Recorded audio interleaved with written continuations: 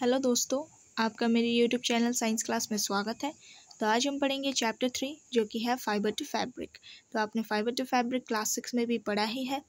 तो इसके बारे में हमें पता चला है कि हमें वूल जो होते हैं, वो सिल्क या वूल हमें एनिमल से मिलते हैं और जो फाइबर्स होते हैं, वो हम प्लांट से ऑप्टेन कर सकते हैं। तो वूल जो होते हैं, वो फ्लीस जो कि है, हेयर ऑफ़ शिप और याक से ऑप्टेन कर सकते हैं और सिल्क फाइबर जो होते हैं, वो कोकुन्स जो होते हैं, सिल्क मौत के उससे हम ऑप्टेन कर सकते हैं। तो शीप जो होते हैं, वो यहाँ पे आपका फिगर दिखाया गया है, एक शीप का। Animal fibres wool and silk तो वूल जो होता है, वो शीप गोट याक या दूसरे एनिमल्स से भी पाए जाते हैं। वूल वूल येलिंग एनिमल जो होते हैं, वो अपने बॉडी पर हेयर बेयर करते हैं, जैसे कि ये है। तो हेयर जो होता है, वो लॉट ऑफ़ एयर को ट्रैप कर देता है। उनके में, उनके भीतर जो होता है एयर ट्रैप हो जाते हैं। और एक एयर जो होता है वो पोर कनेक्टर ऑफ़ हीट होता है। तो इससे एनिमल जो होते हैं, उन्हें गर्माहट मिलते हैं उन हेयर से। तो दो तरीके का हेयर होता है शीप के ऊपर। तो फाइबर्स जो होते हैं, वो हमें दो तरीके का मिल सकता है, जैसे है the coarse beard hair and the fine soft under hair close to the skin तो दो तरीके का होता है, लेकिन सम ब्रीड ऑफ़ शिप्स में जो होते हैं, वो हमें एक तरीके का मिल सकता है, जैसे है फाइन अंडर हेयर तो ये पेरेंट जो होते हैं, उन्हें स्पेशली चूजन करते हैं चूज़ करते हैं, जो कि शिप जो होता है, उनके भी सॉफ्ट अंडर हेयर ही हो जाते हैं, उनमें एक ही तरीके का पाया जाता है तो ये सेलेक्टिव पेरेंट जो होते हैं, और वो स्पेशल कैरेक्टर्स को बेयर करते हैं, अपने ऑफ़ पर भी तो उसे हम कहते हैं सेलेक्टिव ब्रीडिंग तो एनिमल्स दैट यील्ड वूल तो एनिमल जो होते हैं वो डिफरेंट कंट्रीज़ में पाए जाते हैं। जैसे है शीप वूल और याक याकुल जो है वो हमें टिबेट या लद्दाख में ज़्यादातर मिलेगा। मोहर जो है वो एंगोरा गोट से बिलोंग करता है और ये जम्मू और कश्मीर में पाए जाते हैं। और वूल जो होता है वो गोट हेयर जो कि कश्मीरी गोट जो होता है वो सॉफ्ट होता है। और ये शॉल बनाने में काम आते हैं, जैसे उन्हें कहते हैं हम पश्मीना शॉल तो ये ज़्यादातर बहुत फ़ेमस है। तो फर जो होता है वो हेयर है, उनके बॉडी पर जैसे कैमल्स है, उसको भी हम वूल के तरीके में यूज़ कर सकते हैं। लामा है और एल्पका है, जो कि साउथ अमेरिका में पाए जाते हैं तो उससे भी हम वूल को यल्ड कर सकते हैं या ऑप्टेन कर सकते हैं। तो थ्री पॉइंट टू में आपको यहाँ पे एक एक्टिविटी दिया गया है, जैसे यहाँ पे आप देख सकते हो फिगर है याक का लामा का अल्पाका का और कैमल का। जिसका हम वूल को यूज़ कर सकते हैं। गोट है एंगोरा गोट है। तो ये है आपके सारे figures from wool to fibre तो वूल्स जो होता है, जो फाइबर्स जो है, वो वूल्स को कैसे ऑप्टेन करेंगे? तो वूल जो होता है, वो शीप्स के रेयर करने से होता है। जैसे उनके हेयर जो होते हैं बॉडी पर तो उसे हम काटते हैं और उसे वूल में कन्वर्ट करते हैं। तो ये प्रोसेस होता है रेयरिंग और ब्रेडिंग ऑफ़ शीप्स का। तो जम्मू और कश्मीर में ज़्यादातर पाए जाते हैं, हिमाचल प्रदेश है, अरुणाचल है, सिक्किम है, अरुणाचल प्रदेश है, उत्तरांचल है या प्लेन्स ऑफ़ हरियाणा पंजाब राजस्थान गुजरात है। तो उसे हम शिपर जो होते हैं, वो शिप्स को चाराने वाले, उन्हें हम देख सकते हैं ग्रेजिंग करते हुए शिप्स को, वो चढ़ाते हैं और जो शिप्स होते हैं, वो हार्बीवर्स होते हैं और वो ग्रास और लीव्स ही खाते हैं। तो ग्रेजिंग शिप्स जो होते हैं, वो फ़ीड करते हैं mixtures of pulses corn jowar oil cakes में। मेटेरियल्स जो होता है, लेफ़्ट हो जाते हैं ऑयल के ऊपर। तो ऑयल जो सीड होता है, उससे वो खा सकते हैं और मिनरल्स भी खाते हैं। तो विंटर में जो होता है, शिप्स जो होता है, वो उन्हें बाहर रखते हैं इंडोर्स में और उन्हें लीव्स या ग्रेन्स और ड्राई फूडर को खाने के लिए छोड़ देते हैं। तो शिप जो होता है, वो रेयर करते हैं many parts of the country में फॉर वूल के लिए। जो कि हमें some name of the some breeders of sheep rear in our country for producing wool आपको यहाँ पे नाम देने हैं जी, कि आपको कंट्री में जितने प्रोड्यूसिंग वूल है, जो शिप्स है, उनके नाम देने हैं सम ऑफ़ द ब्रीडर्स के। तो जो क्वालिटी हमें देते हैं क्वालिटी हमें प्रोड्यूस करते हैं तो वो आपको यहाँ पे, जैसे आपका यहाँ पे टेबल थ्री पॉइंट वन है name of the breed quality of wool और स्टेट फॉर्म तो ये कहाँ कहाँ पाए जाते हैं, उनके नाम हैं।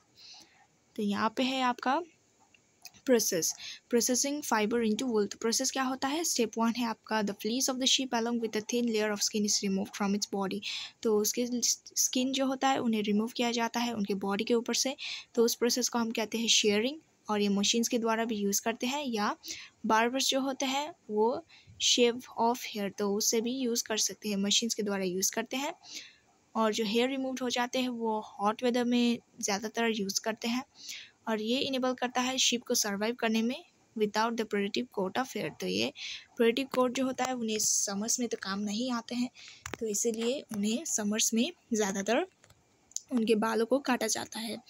और ये जो होता है, वो वुलन फाइबर्स को प्रोवाइड करने में हेल्प करता है। वुलन फाइबर्स जो होता है, वो प्रोसेस करते हैं वुलन यान को। और शेयरिंग जो होता है, वो शिप को हर्ट नहीं करते। क्योंकि ये हेयर जो होते हैं, उनके फर्दर शेप्स ऑफ़ बियर्ड तो उन्हें काटे जाते हैं तो इससे उन्हें ज़्यादातर हर्ट नहीं होते हैं और जो अपर मोस्ट लेयर होते हैं, वो स्किन डेड हो जाता है ऑलमोस्ट तो इसीलिए जो शिप को होता है, वो उसके हेयर जो होता है, उनके लॉस किए जाते हैं, जिन्हें काटा जाता है, वो फिर से उग जाते हैं।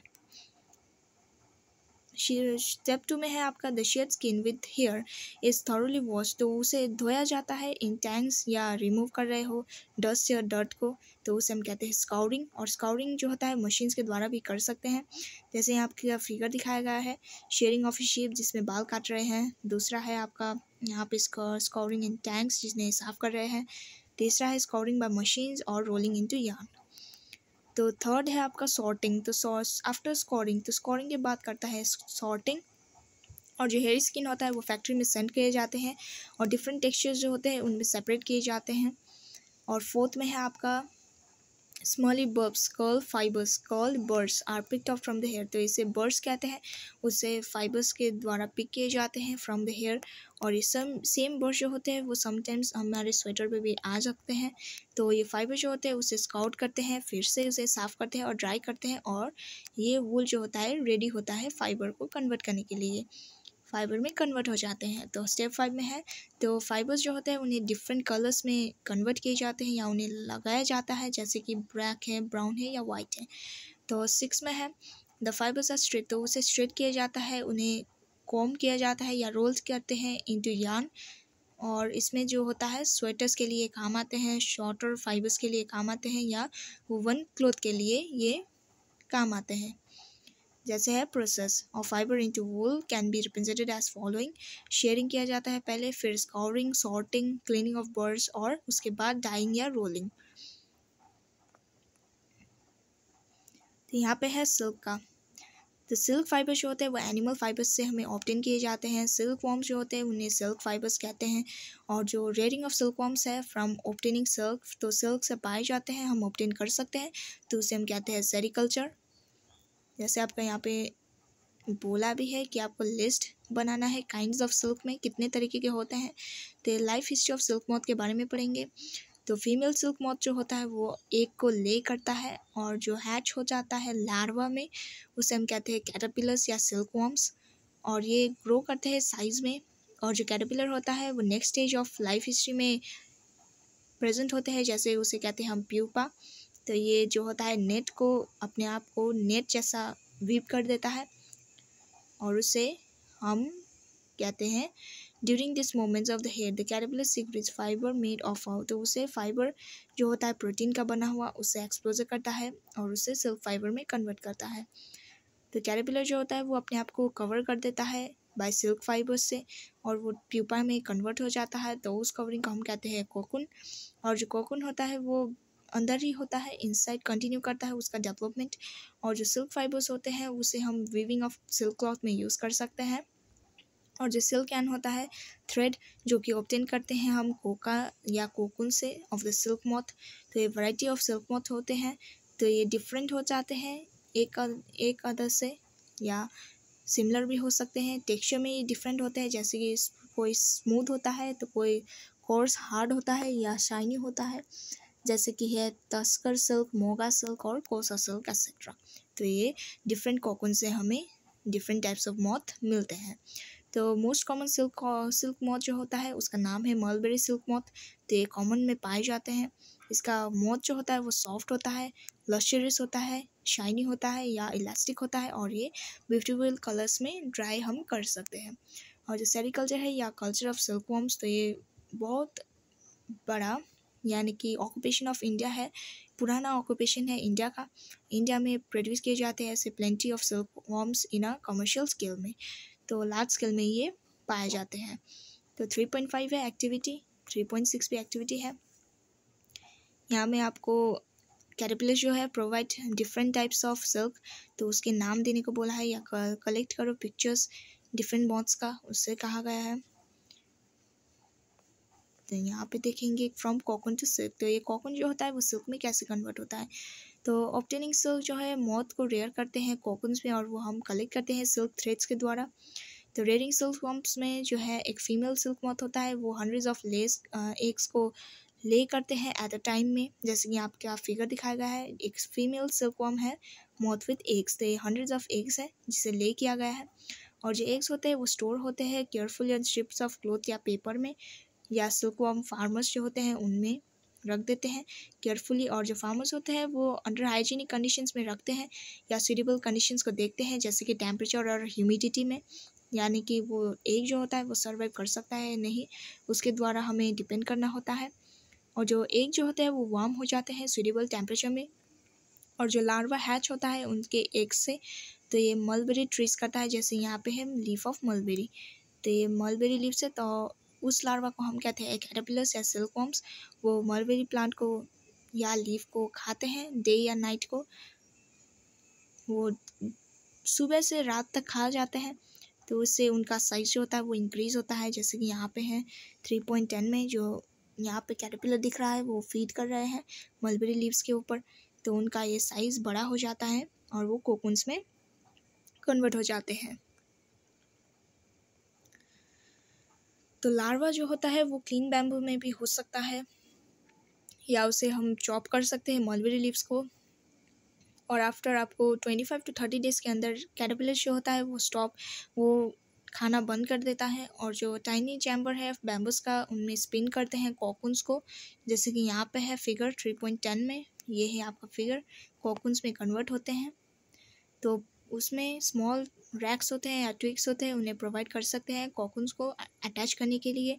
और जो कैटरपिलर या सिल्क वॉम है, वो स्पिन करते हैं कॉकुन को अपने भीतर तो उससे डेवलप होता है सिल्क वॉथ सिल्क मॉथ तो प्रोसेसिंग सिल्क जो एक पाइल ऑफ़ कॉकुन्स होता है, उसे हम सिल्क फाइबर्स को ऑप्टेन करने के लिए यूज़ कर सकते हैं।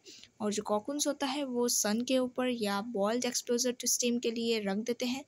और जो सिल्क फाइबर्स होता है, वो सेपरेट हो जाते हैं। और जो प्रोसेस उसमें उसमें प्रेजेंट होता है, जो थ्रेड के ऊपर कॉकुन को यूज़ कर सकते हैं एज अ सिल्क तो सिल्क के द्वारा उसे यूज़ कर सकते हैं तो उसे हम कहते हैं रिलिंग द सिल्क और जो रिलिंग है, उसे हम स्पेशल मशीन्स के द्वारा भी यूज़ कर सकते हैं, ताकि थ्रेड या फाइबर जो है, वो सिल्क के द्वारा निकल जाए सेपरेट हो जाए और वो कॉकुन से निकल सेपरेट हो सके और उसे हम सिल्क फाइबर्स में यूज़ कर सकें। तो सिल्क फाइबर जो होता है, वो स्पून होता है सिल्क थ्रेड में या वुवन करते हैं बाय वीवर्स तो वीवर्स जो होते हैं, उन्हें वूव करने के लिए, यानी बनाने के लिए यूज़ करते हैं, जो कि है सिल्क क्लोथ में कन्वर्ट हो जाते हैं।